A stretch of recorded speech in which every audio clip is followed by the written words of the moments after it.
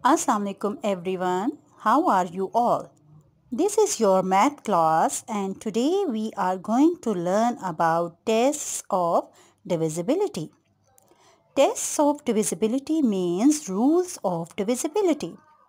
Students, these rules are actually the clues which help us to test if one number is divisible by another number without doing a lengthy calculation. These rules also help us to find out the factors that make up a number.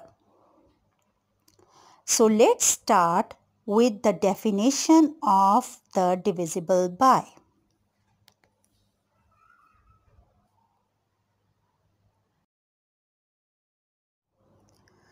Divisible by means a number divides another number without leaving any remainder.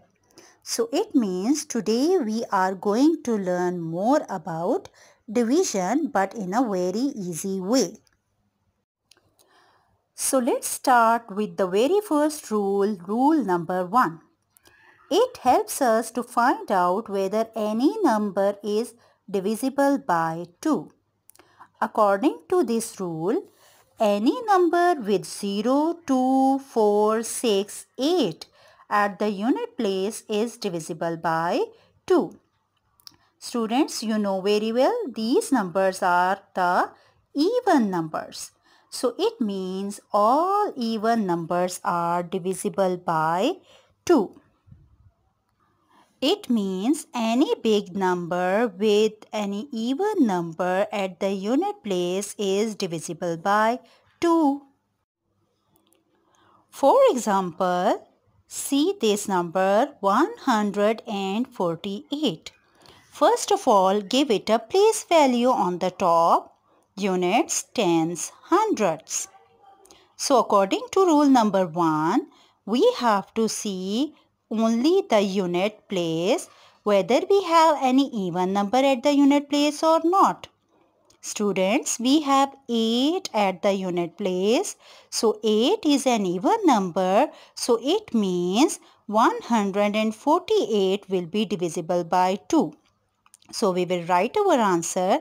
Yes, 8 is an even number at the unit place. So 148 is divisible by 2. See this second example now. The number is 381. So we have to see whether 381 is divisible by 2 or not by following rule number 1. So students, we have to only focus at the unit place. What do we have at the unit place? Yes, we have 1 at the unit place. So 1 is not an even number. So our answer will be no. 1 is not an even number at the unit place. So 381 is not divisible by 2.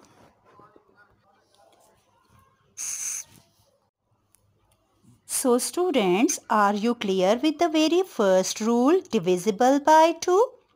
So open up your countdown book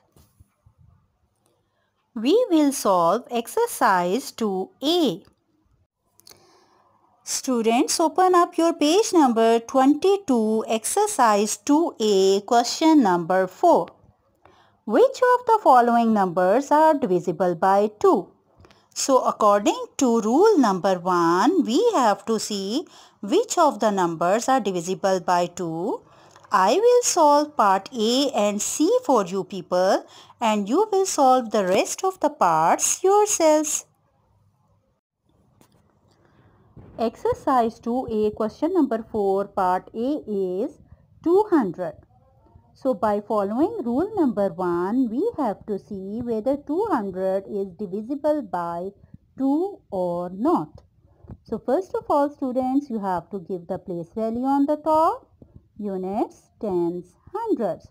So according to rule number 1, we have to focus the unit place. What do we have at unit place? 0. So 0 is an even number. So our answer will be yes. 0 is an even number at the unit place. So 200 is divisible by 2. Question number 4 part C is 427. Focus at the unit place according to rule number 1. What do we have at unit place? 7. Do you think 7 is an even number? No, 7 is not an even number. So, the answer will be no, 7 is not an even number at the unit place. So, 427 is not divisible by 2. Rule number 2. Divisible by 3. According to rule number 2, the sum of the digits must be divisible by 3. To check whether a big number is divisible by 3 or not, we have to split the number and add the digits. If the sum is divisible by 3, then the whole big number is divisible by 3.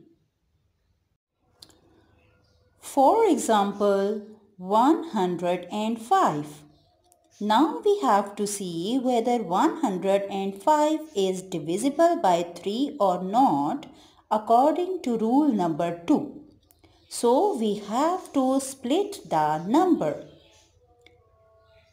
1 plus 0 plus 5 is equal 6.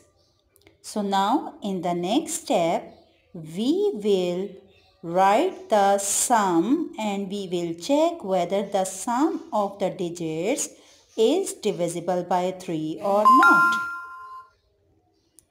Yes, 6 is divisible by 3. It comes in 3 times table. So we will write the answer. Yes, 105 is divisible by 3. The second example is 593.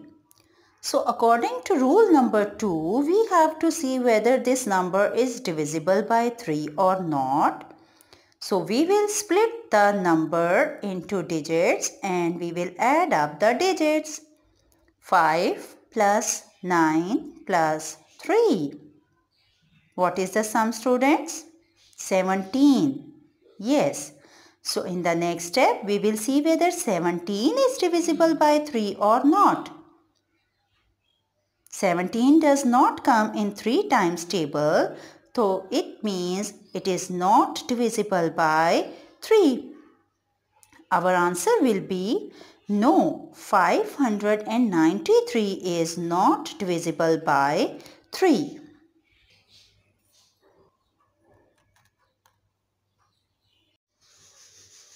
Now open up your page number 22 of your countdown books and take out exercise 2a question number 5. Which of the following numbers are divisible by 3? I will solve part A and C for you people and you will follow the same and do the rest of the parts yourselves. Question number 5 part A is 624. So according to rule number 2, we have to split the number. 6 plus 2 plus 4. Add the digits and the sum is 12. Yes. In the next step, we will see whether 12 is divisible by 3 or not. What do you think students? 12 comes in 3 times table? Yes, it comes, it is divisible by 3. So our answer will be yes, 624 is divisible by 3. Part C is 130. So according to rule number 2, we have to split the number and add up the digits. 1 plus 3 plus 0. What is the sum students? 4.